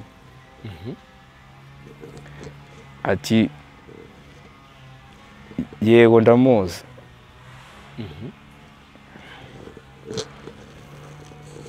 ntabwo yigeze ahakana cyangwa se ngo agire ye nkati ndamuzi ahise ambwira ati nuwa nuwa nuwa nuza nuwa nuwa anti ngo nimba ari ibihetanye kumbe nyine ibintu bidafututse. Mhm. eh ati sawa. Batamukubita indi foto.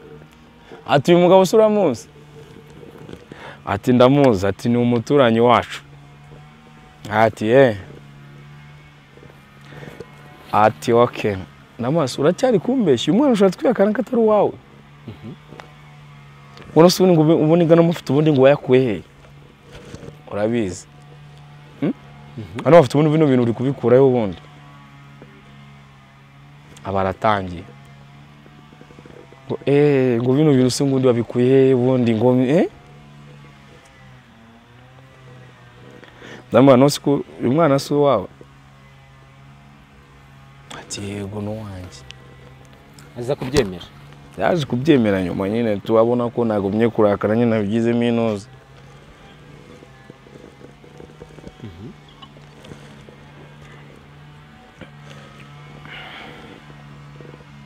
Uyu mugabo se? Ati ni papa uriya mwana. Ati se murabana ati ngereka tuganire. Mbizi ukuri. Mm. ko kuno narakaye. Umunsi mubwiza ukuri byantwaye nk'umunsi wose ndi mu nzu ndi kumuhamagara turi kuvugana video call. Umunsi yari yanaruhutse.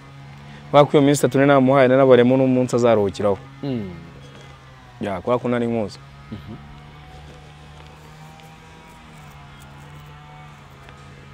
turaganira.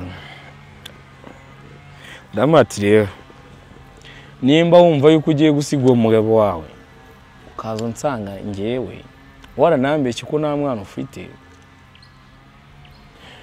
Mbizi gute nugera hano mu rwanda ko ngewe utazana?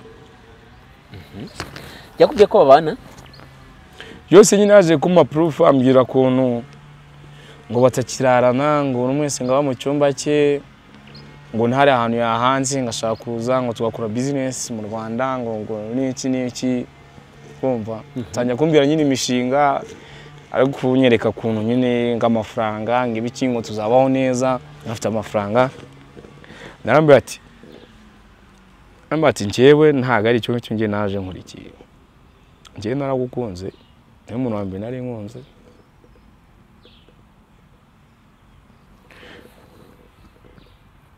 uburyo twamyanyura kuzi n'ikintu cyatumye nkumya ku- kukuba hafi nanjye ukamba hafi ni uko nagukunze nawe ukankunda. Ntabwo nagukunze kubera amafaranga ufite. Hmm? urukundo n'amafaranga nta hantu bihuriye. Kuba ufite ayo mafaranga ntabwo ari byo byagaragaza yuko ngewe nawe dushobora kubana. Ahubwo ikintu cyatuma tubana ni icyizere kutambeshya. None se eh, yakubwiye ko ba- bakoze divorce? Nyine yambwiye yuko bakoze ngo basigaje gusinya ibipapuro. Bakaba bakibana mu nzu se? Ko tuzi ko muri diaspora nyine ngo buri wese nkaba mu cyumba cye. Ngomva ariko nyine igihe ikintu nari agamije ari kuntega ngo ni ayo mafaranga ngo n'ibintu hano mu rwanda ngo tukabaho neza. Ngenda arambuye ati urukundo n'amafaranga biri diferenti kuko ayo mafaranga wayazana umuntu akaba afite ariko ntitubane neza. Ntabwo byashoboka. Nk'uko ugiye wumvaga wasiga uwo mugabo wawe niko nanjye wazansiga. Ahubwo ngewe ibintu byanjye nawe tubigarukiriza aha ngaha. Kubera ko ngewe naguhaye iminsi itatu yo kwitekerezaho mbwiza ukuri. Ko wenda nagize imana nkagira umuntu w'inshuti akambwira akanyereka purufu none ibyo bintu yananyeretse nawe ubwo ukaba unabinyemereye ariko bwa mbere wabanje kubimpakanira ni ikintu kigaragaza yuko ntabwo ushobora yewe nawe rero nimba wankundaga wumva ko tuzabana ibyanjye nawe. Birarangiye. Muhita murangiza muri ubwo buryo. Eh, ni gutyo nahise mubwira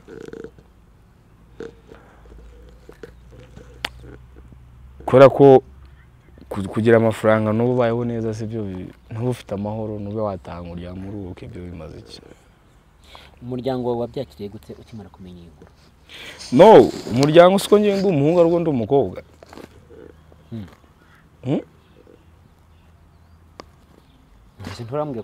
Mu muryango? Nyine ndimo ndakubwira nose nase bangiye mu muryango wanjye baba bati ngewe umuntu yarananiye nabonye bitavamo.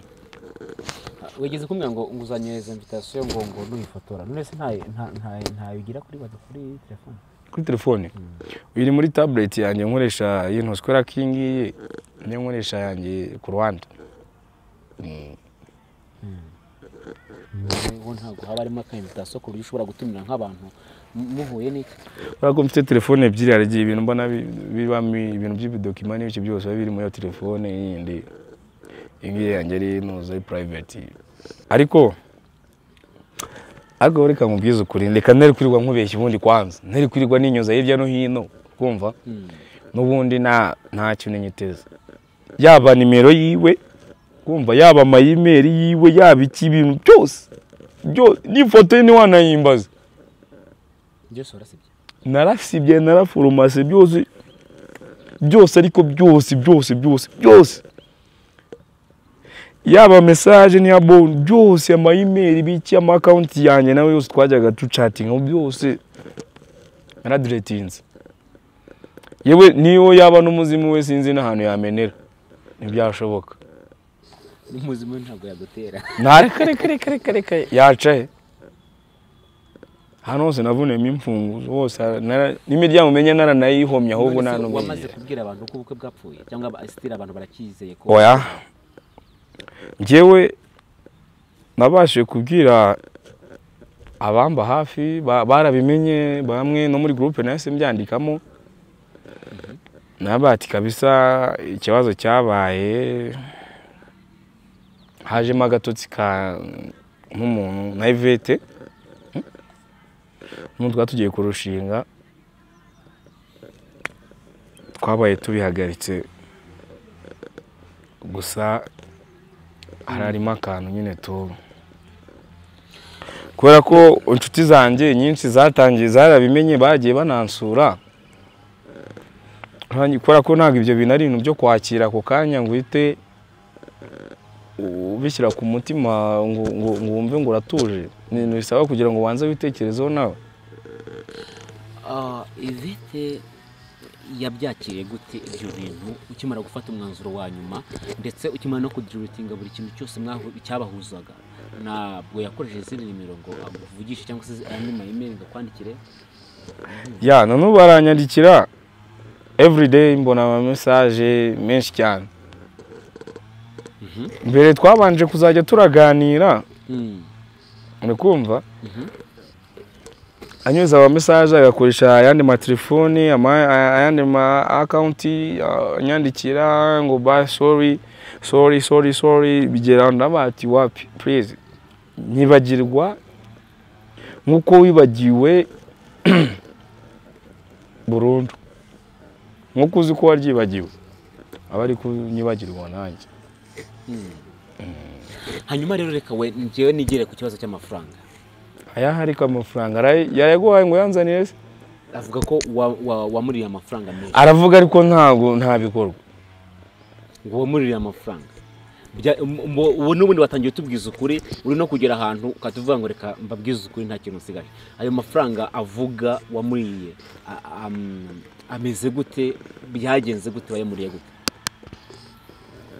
Kandi ntayo nzi. Hmm? kandi ntayo nzi. Mbese iyo mishinga mwe muri muri- muri muri gutegura niba ubukwe bwari buri muri uku kwezi. Mm. nta mafaranga yohereje wenda yo gutegura ubukwe. Ayohereza. Ni umugore uyohereza cyangwa ni umugabo uyohereza. Tuzi ko mana aba aba diaspora bararongora mana. Wa- no- none biza ku aha hantu nawe wawe ugiye kumbeshya tuzi ko mubeshye se gute? Abenshi mubeshye gute? barongorwa mana abasore abasore b'abanyafurika benshi reka mbivuge gutyo. Mhm. Eh, Mm. abenshi bararongorwa. Ni nabo bagera Bararongorwa. hariya rero bakigira abasongarere bakanga gukora abagore bakabirukana. None se reka nkubwire Du- wowe ubwawe unyakira uranzi neza ko ndi umudije nkorera ubusa urarebye ugasanga aya si amafaranga? Ariko navuze. Nkwereke n'ayandi si? Siko navuze. Nkwereke n'ayandi. Ntabwo ariko navuze ko wayambwira ubusa. nkwereke n'ayandi. Eh? ariko n'ayandi. twagiye tubona na mani n'abandi bantu ba- bakurusha izina hano mu rwanda. Eh. ariko barongowe. Abo ni abandi nyine ariko ntabwo ari njyewe. Njyewe ni JP ndi DJ eh, mfite akazi ka mfite akazi. Usibye n'ibyo ngibyo mfite n'ibindi bintu nkora ku ruhande.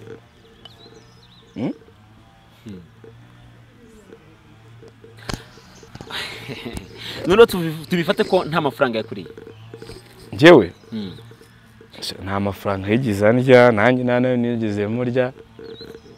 Asundi ariko yarya gute kandi ari njyewe amafaranga yanjye ari njyewe yabitse Eh, ntabwo twe twagahuje umutungo. Natwe twakagiye mu murenge.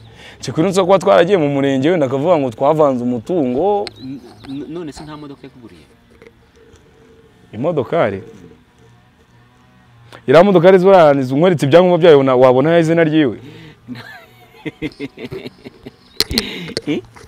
Wabonaho izina ryiwe? Icyo abantu uri kumbeshya ahantu utangiye kumbeshya. Hmm? ko nzi ko abasore benshi iyo ba sitiri ba- bakiri bakiri njyewe iriya modokari mfite. Urukumva ntiyanjye nigure. Ndi kugendana. Ntiyanjye nigure ku giti cyanjye. Ntabwo nayibonye ariko. Ntabwo wayibonye ntayo nabonye. Eh, ndaza kuyikwereka nta kibazo. Ntayo nabonye. Si si kwanza n'ibyo ngibyo turanabyihorera ariko wowe menya ngo nta modoka modo- yakuguriye ntayo.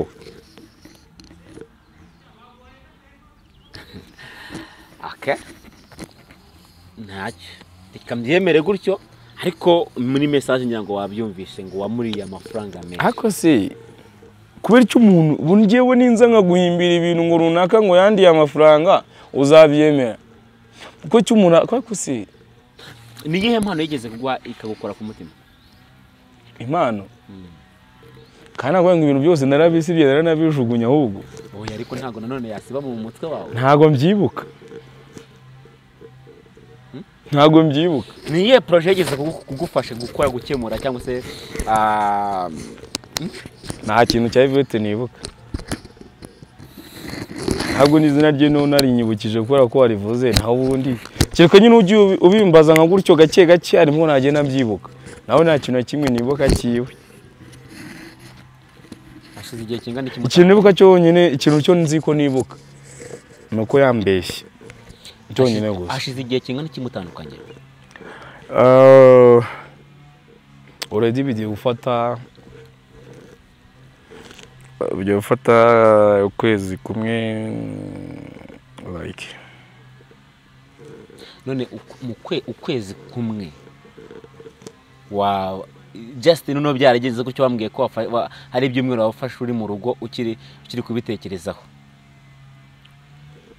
Ukwezi kumwe waba umaze kwibagirwa ibintu byose mwa- mwakoranye n'umuntu? Ariko se reka nkubaze. Umuntu umuntu uguye mu kibe nawe ukagena Mm. Ibaze ariko umuntu waravuze ati muzabana ubuziraherezo yarabyaye. Kandi ngo ugiye kumushyira mu mago ahubwo ikintu ngewe ntagira inama abasore cyangwa se n'abandi bantu yaba bashiki banjye cyangwa se na bagenzi banjye. Mm.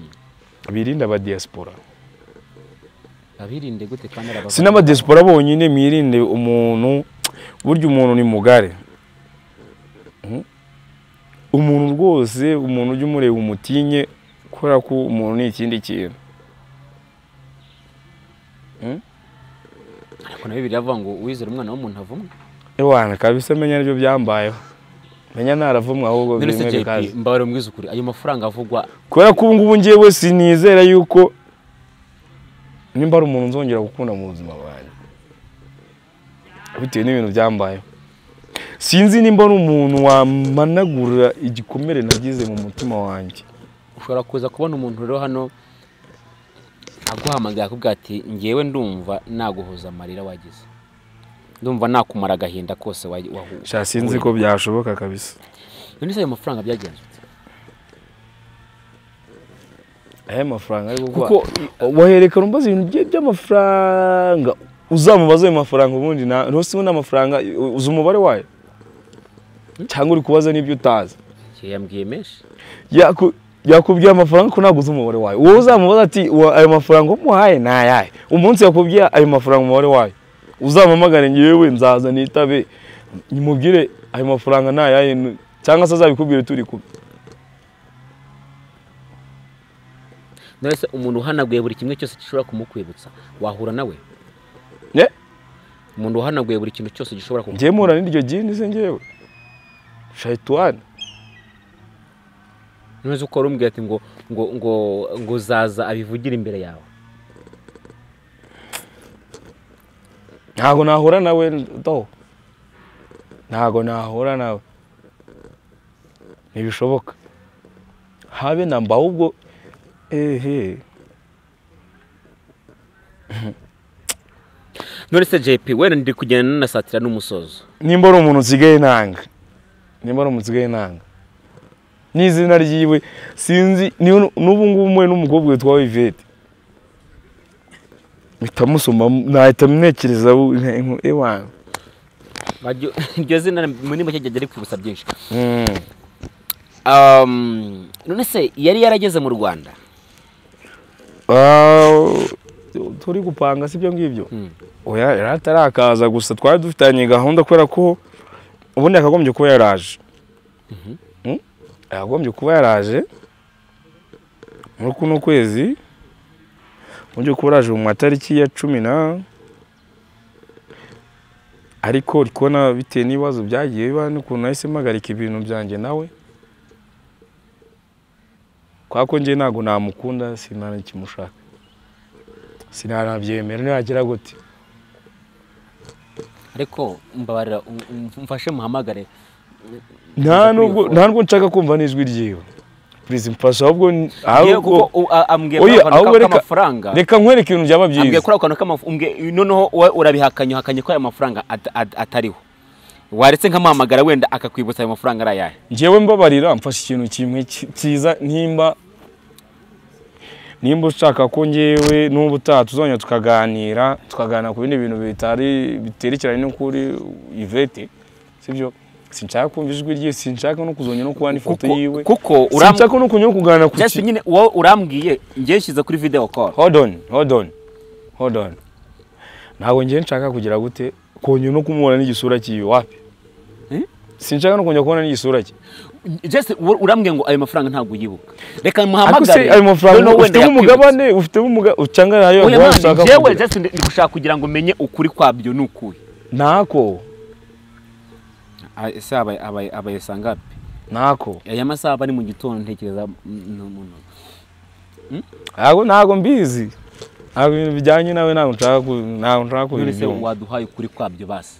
Ntako nzi ahubwo dore ikindi kintu reka ngire dore n'amasaha arageze kumva amasaha arageze mba afite izindi gahunda mba ngomba kujyamo. Kangende buriya nawe ubutaha buriya. Ariko ugenda umbwira ivete wowe ivete umbwira ati ngewe sinshaka no kumubona n'agasura kiwe. Sinshaka no kuzongera no kumva. Nawe n'aho ari hose anyumve kubera ko yari amemukiye cyane. Jp wa watubwiye kuri iki kintu kubera ko barirwa baribwa amafaranga menshi. Kandi mu by'ukuri ah, na wasuje kumukora ubuvugizi aha ngaha. Yego. Ubujyanye n'iki kuko wenda we ibintu umuntu akubwiye tu uzi wumva ko impamvu nta- ntabifashe nk'ukuri cyangwa se ngo mbite mbipuruvinga ni na yo mpamvu naguhamagaye kugira ngo umbwire niba ese ni ukuri cyangwa si ukuri? Ntabwo ari ukuri ntabwo ari ukuri ayo mafaranga ntabwo uyazi ntabwo nyazi murakaza ni nanga ngiye gusoza ikiganiro cyacu ese mani ariko ngeje ajeve rwose hari hari umujama nyine just umujama nanyuzeho kugira ngo ampuze nawe. Mm, Ah, kuko nta ntabwo twari dusanzwe tuziranye mm. Eh, yambwiye ko ngo nimba mwarayasindiye maze rero ayanjye ariko nkwa kanuzi ndagufata kuko ndagufata Eh, no no Oya, ndagufata ngewe nkwa kanuzi uravuga ngo unywa ka fanta wigeze kumbwira ko umunsi mumenyana we kujyanye ngo ngo mu- ngo munywa henesi ibintu by'ibibyeri hanyuma ngakuzanira akajuisi kugira ngo akumareho hangova irangire nazivuyeho nazivuyeho narakijijwe hareruya bene data ahubwo nkubwira ijambo ry'imana. Narakijijwe. Wakirijwe muri uru rusengero? Hmm? wakirijwe? Kirijwe Eh. abandi bakirizwa mu rusengero rwitwa gute? Eh? mu rusengero rwitwa gute? Imibiri yacu ni ni urusengero rw'uwiteka. Wabwirijwe nande? Eh? wabwirijwe nande? Nabwirijwe nande? Eh. kwisomera ijambo ry'imana singiye byananira ari ngombwa kugira ngo bambwirize wabatijwe nande? Nabatijwe nande? Mm. ndacyari kwiga nzabatizwa ejo bundi jepu nyimye amakuru A- ayo naguhaye ubwo ntayahubwo mbwira wenda muri iyo poroje y'ubukwe. Yari yari kuzahagarara amafaranga angahe Ah, umukobwa yari yaramaze kuyaguha yose? We mukobwa ari kuwambaye amafaranga njyewe ko nyifitiye. Hmm? amafaranga y'ubukwe yari ayanjye. Ese umukobwa ni utegura ubukwe cyangwa n'umugabo ubutegura bose barabutegura ariko dusanzwe tuzi ko abadiyasipora ari bo babutegura bakabukora bakanikwa baranikwa bamwe na bamwe. Eh, baranikwa. Njyewe nari gukwa rero inkwano ari kumva ari ikintu gikaze. Inkwano. Ntabwo ari ikintu gikaze ahubwo nyine hari abantu bataba bayafite ushatse kuvuga nkande Hmm? urugero nkande batayafite? Urugero nk'abo bagiye barongora nyine. Nyine barabarongo ariko ntago muri abo ngabo ntago ndimo. Okay. Ntari JP ngewe rero ndasoje insozi kino kiganiro ngisoreje aha ngaha. Ndagushimiye ko wambaye umwanya tukaganira. Mbo nkwihanganisha niba koko warababarijwe mu ako kagene ntabwo ngishaka kumva n'ibintu by'urukundo maze. Reka genda ubwo uramutse ubonye umuntu ugukunda wenda akavuga ati njye nagukunze ndashaka guhuza amarira watewe n'uwo mukobwa. Wahehe ubwo? Aho yaba aturutse hose aha burya reka ibyo bintu tuzabiraga uwiteka kubera ko ngiye umwana w'umuntu ntabwo nabasha cyangwa reka tugarukirize aho ngaho okay ya hanyuma rero reka ngushimire cyane ko waduhaye umwanya tukaganira tunihanganisha impande zombi yaba ari uruhande rwawe ndetse n'uruhande rw'umukobwa. Ntekereza ko mwese mwarahombye. Hari ashobora kuba yarahombye bitewe n'icyo yashaka kuri wowe nawe ndetse ugahomba bitewe n'uko wari wamukunze si ubwo wumva warahombye ngewe ngewe ntabwo ikintu nahombye cyane ni icyizere nagiriye umuntu Mm. ukuntu nawe namukunze nkamwimariramo Mhm. Misita ntabwo nabikubwira. Nu- nu- numvaga na- nari mbayeho nsigaye ninezerewe numva nishimye ndi no stress nta kibazo na kimwe nshaka kwiteza iwana. Ibintu byose ari neza. Mm. Okay. pole sana kabisa. Ya ndabashimiye mwese mwabanye natwe. Ah, just ni inkuru y'umubabaro nyine twari turimo turi gu- gukora kugira ngo tumenye ukuri kujyanye n'ariya mafaranga menshi. DJP yari Yvette ariko atubwiye ko atigeze yarya. Ya ndabashimiye cyane. Mugira muri Imana ndabakunda cyane. Ciao ciao.